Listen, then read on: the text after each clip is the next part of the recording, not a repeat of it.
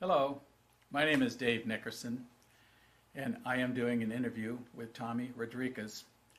I'm going to answer five questions here on the video, one question and one video at a time. The first question Mr. Rodriguez asked me to answer is, what is your professional background in environmental science? My background started with a master's degree in biological sciences from Florida Institute of Technology in June 1976. And I returned to Florida in July 1977 to take a marine biologist position with the Florida Department of Natural Resources Marine Research Laboratory in St. Petersburg. As a fish biologist, I worked together with an invertebrate biologist partner, spending at least three consecutive nights per quarter year on commercial shrimp boats fishing in the Gulf of Mexico and Florida Bay from the Dry Tortugas to Pensacola. During the one-year project, we determined the bycatch of commercial shrimping operations by sampling, identifying, and recording all species of fish and invertebrates taken aboard shrimp boats engaged in the Florida Gulf fishery. Following termination of the shrimp discard project in 1978, I was assigned to a two-phase research project with the first phase as a description of the Florida Atlantic Coast silver mullet bait fishery from Key West to Fernandina Beach. Results of that research were published in the Florida Marine Research Technical Publications number 41 in April of 1984. Continuing with phase two, I began field and laboratory work to determine age, growth, reproduction, and life history of the silver mullet, Mugil curema. Meristic data were collected from over 20,000 silver mullet captured from bays, estuaries, and the ocean along Florida's east coast. In order to differentiate mullet species from one another, I read many technical papers, observed museum-housed type species, and learned there were six extant mullet species occurring along eastern Florida. I left the Marine Research Laboratory in 1984 and before I could complete publication of the silver mullet age, growth, and reproduction data. While at the Marine Research Lab, I supplemented my state salary by taking two part-time jobs on the weekends for two different projects. From 1979 to 1982, I worked part-time with Missemer and Associates reviewing U.S. Army Corps of Engineers Section 404 permit applications to determine and qualify any proposed project-associated marine resource impacts and report my findings to the National Marine Fisheries Service in Panama City, Florida. Missemer and Associates was responsible for application review in Palm Beach, Broward, Dade, Monroe, Collier, and Lee counties, but my work with the firm did not involve application reviews in mainland Monroe, Collier, or Lee. During those four years, I gained a lot of experience in the South Florida marine environment and learned to identify many of the emergent and submergent plant species, along with the invertebrate and vertebrate animals occupying those habitats. The second part-time project work was for Gamefish Research Foundation and involved shipboard observations and biological sampling of swordfish, Xiphias gladius, taken in the southeast Florida longline fishery. I rowed aboard, I aboard small commercial vessels from Fort Pierce to Boynton Beach, Florida, that set 15 miles of longline gear in the Gulf of Mexico in the evening hours and soaked it until sunup. Not only did I learn much about swordfish while providing catch and associated data, but also learned the many species of non-target fish that were caught by the gear and that accompanied the small boats as they drifted north in the Gulf Stream all night. Less than a year after leaving the Marine Research Laboratory, I was contacted by CZR Incorporated, an environmental consulting firm from North Carolina that had just moved to Jupiter, Florida, and was looking for a biologist to join the team. In February 1985, I joined their team and began my true environmental consulting career. I worked on hundreds of projects in Florida and a few out of state. Most were associated with developing vacant land for residential, commercial, industrial, educational, recreational, or military use. Project land size ranged from quarter acre single family residential lots to a 39,000 acre military expansion site. As the firm grew, I was fortunate to be promoted to vice president and served on the management team. We opened new offices in Jacksonville, Florida and Wilmington, North Carolina, and grew to a 35 member firm by 1991. In 1993, I left CZR and started a new environmental consulting firm with Cheryl Carpenter.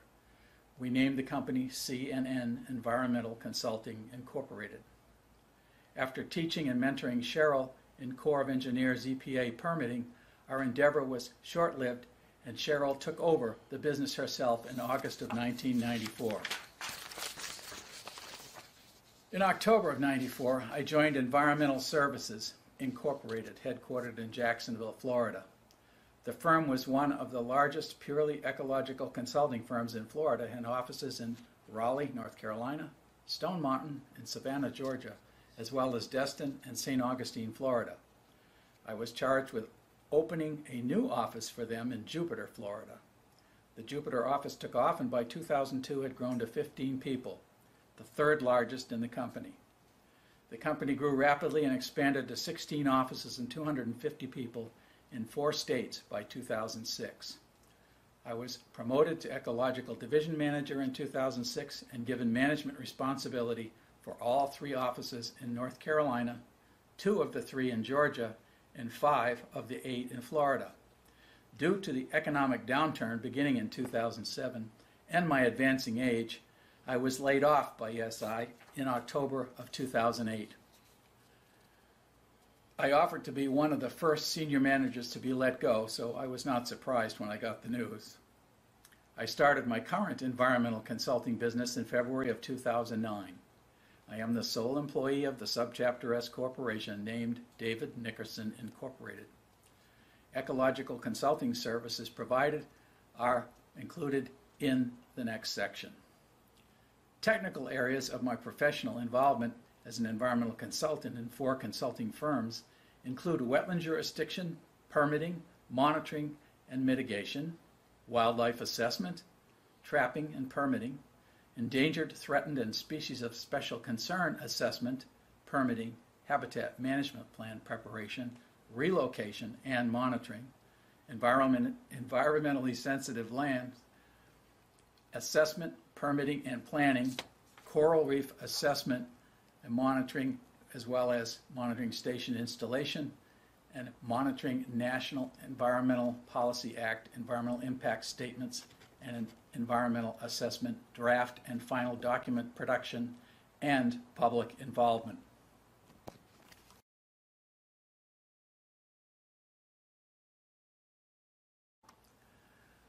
The second question is, what do you enjoy most about what you do? And I have to say, what I enjoy most about what I do are the smiles and thank yous that I receive from clients when successfully assisting them realize their dreams.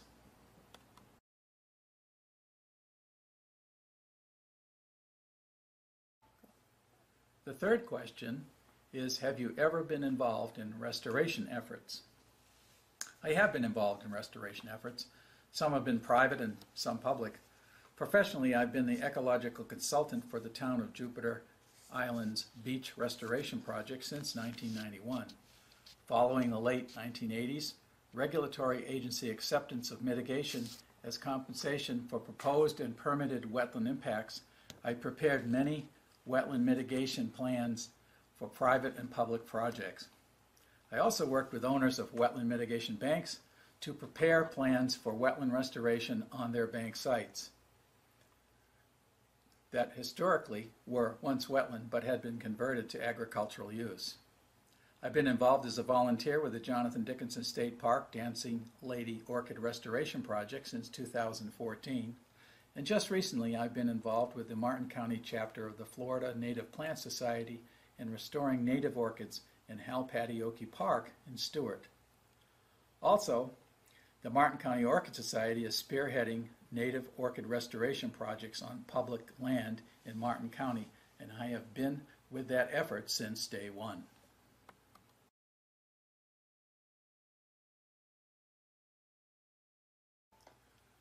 The fourth question is, have restorations improved over the course of my career? I believe they have. I haven't had a lot to do with it, but during my career I observed a substantial change that occurred in wetland mitigation restoration. Until 1999, wetland restoration was done on private and public land on a case-by-case basis, both on-site and off-site, and studies showed that success rates often were very low.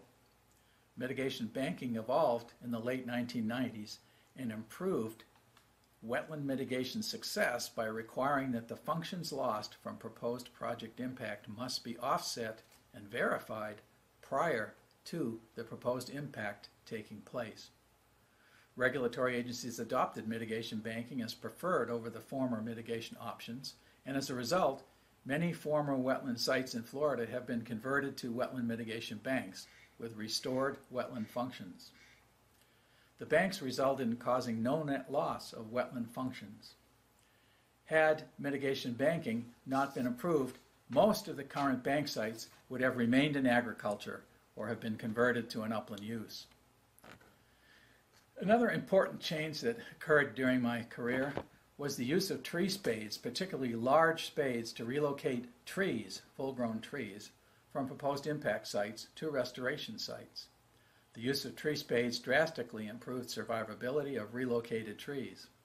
Another associated change during my career was the method by which wetland mitigation was assessed and calculated. The 1990s saw a regulatory agency change that required consultants and others to evaluate and calculate wetland function and success rather than simple wetland area by vegetation type when determining how much mitigation would be in, required.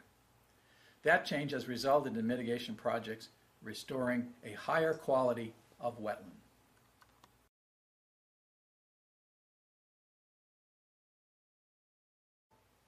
The fifth question is, is there any restoration project that I've been involved with that achieved success beyond expectations?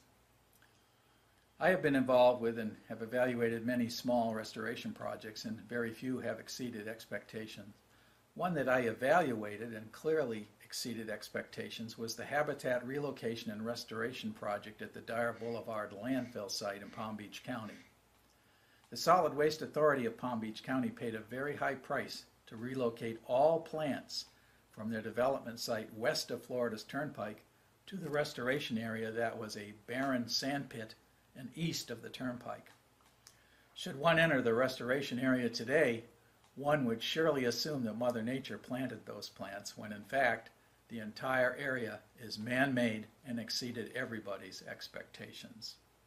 That's the end of the, my response to the five questions. Thank you for the opportunity to answer your questions.